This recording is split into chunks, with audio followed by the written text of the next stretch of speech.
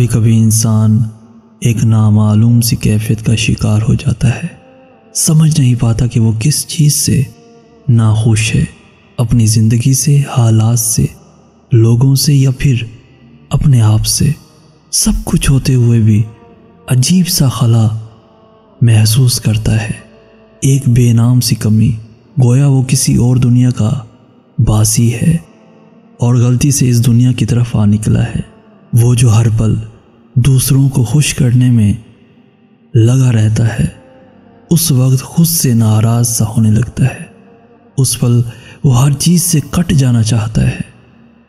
खामोशी के जंगल में गुम हो जाना चाहता है, जहाँ उसे खुद अपने वजूद का भी पता ना मिल सके।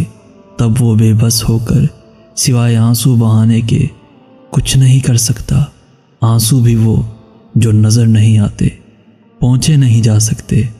फिर वो होता है, उसकी ज़ात की उलझनें होती हैं और उसका अल्लाह होता है। वो जो दुनिया के सामने टूटने से डरता है, खुद पे मजबूती का खोल चढ़ाए रखता है। उस रब ताला के आगे टूट जाता है, बिखर जाता है, खुल जाता है और वो वो ज़ात उसे समेट लेती है। खुद सुपुर्दगी का ये आलम उसे ज़िंदगी की हकीकत समझा देता है।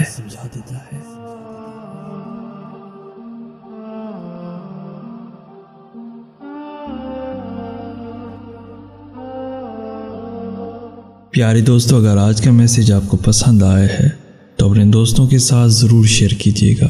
और ऐसी ही वीडियोस रोज़ाना हासिल करने के लिए हमारा चैनल ज़रूर सब्सक्राइब कीजिएगा। जजाकल्ला खैर।